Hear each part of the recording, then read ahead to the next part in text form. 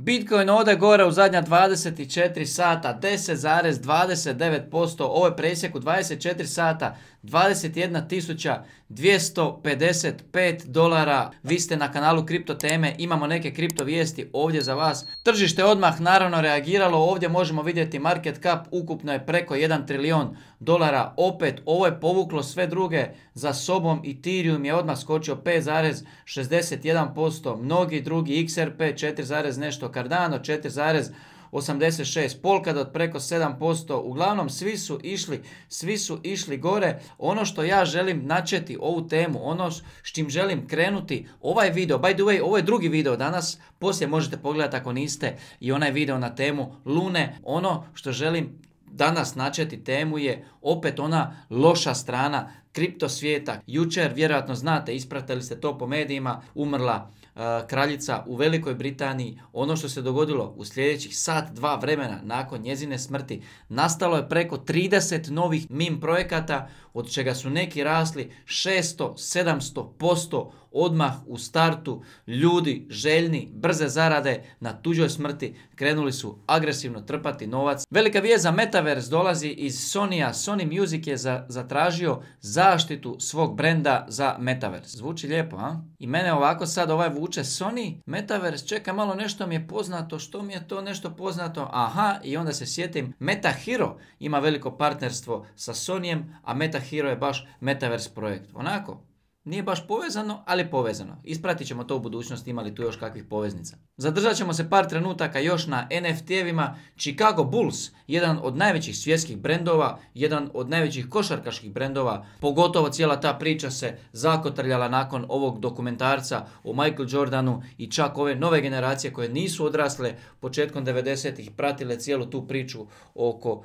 Chicago Bullsa. Sada taj brend dobro poznaju i oni su sad izbacili, izbacuju odnosno NFT kolekciju sa tim poznatim svojim grbom, taj BIC, i jedan NFT će koštati 0,2 Ethereuma za početak. Onda idemo dalje, više od 70% investitora u kriptovalute vjeruju da će ulažući u svoje projekte postati milijunaši. Ja se ovdje mislim pa gdje se ti gubiš, hvataš projekte puta dva, puta tri da nešto zaradiš, da nešto uzmeš, pa idi odmah na milion, odmah budi milijunaš. Šalim se, uglavnom 70% ljudi, anketiranih ljudi u kriptu, vjeruju da će ostvariti u budućnosti velike rezultate i riješiti svoju cijelu financijsku slobodu kroz kriptovalute. Pa nekim je sa srećom, jel? Ima Ethereum velike vijesti, by the way gledam ovu majicu na, na Tommy Jerrya, rekli su mi da bi trebao nositi neke skupe, skupe majice, Armani, Hugo Boss i tako dalje i onda da će ljudi misliti da sam puno uspješniji jer ovako kaže kad te vide u majici od Tommy Jerrya, onda malo sumnjaju tebe, kaže moraš se malo početi bolje oblačiti, onda se mislim čeka malo ko je ovdje lud. A da si rentam auto neki skupi, da si rentam neku kuću sa bazenom pa da tamo snimam videa i da vi kažete eno ga, uspješan je. Nećemo ništa fejkati. Nećemo fejkati. Gdje smo stali? Švicarska. Idemo u Švicarsku Ethereum.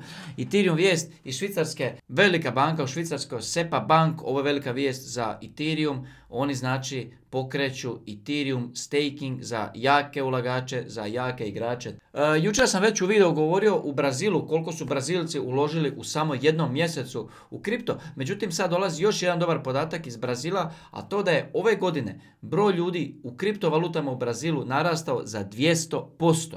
Jedan od najvećih modnih brendova kad je sportska obuća i odjeća u pitanju Puma, također lansiraju NFT tenisice ili ti ga patike. A svi znamo da na svijetu postoji veliki broj kazina i kockarnica, online kockarnica koje primaju kriptovalute kao sredstvo plaćanja, kockarnica u kojima možete doslovno kockati sa kriptovalutama, ulagati te kriptovalute jedna od takvih najvećih svjetskih kockarnica, Casino BC Game, potpisali su ugovor sa Argentinskim nogometnim savezom pred svjetsko prvenstvo.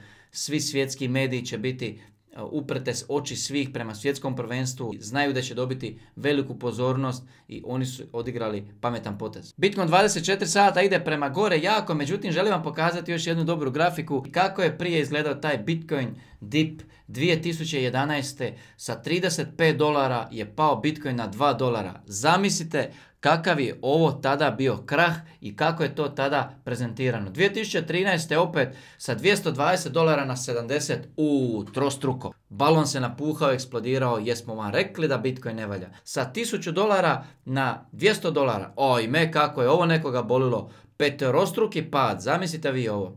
A 2017. lagano sa 20.000 na 3000 dolara, isto bolno medijima, ovo super tema za klikove, za članke, da svi klikću, da svi otvaraju i sada smo u 2022. godini sa 68 tisuća, kakav strašan pad na 17 tisuća. Međutim, imam ja još jedan dobar graf. Pazi mene graf, nije graf nego presjek, ali pazite ovo sa Twittera što sam zakačio, isto zanimljiva stvar. 11. 12. i 13. je bio u zelenom i onda četvrta godina u crvenom.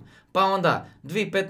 2016. 2017. tri godine zaredom je bio u zelenom, pa četvrta godina u crvenom. Pa smo imali 19. 20. 21. zelenom, 2022. u crvenom.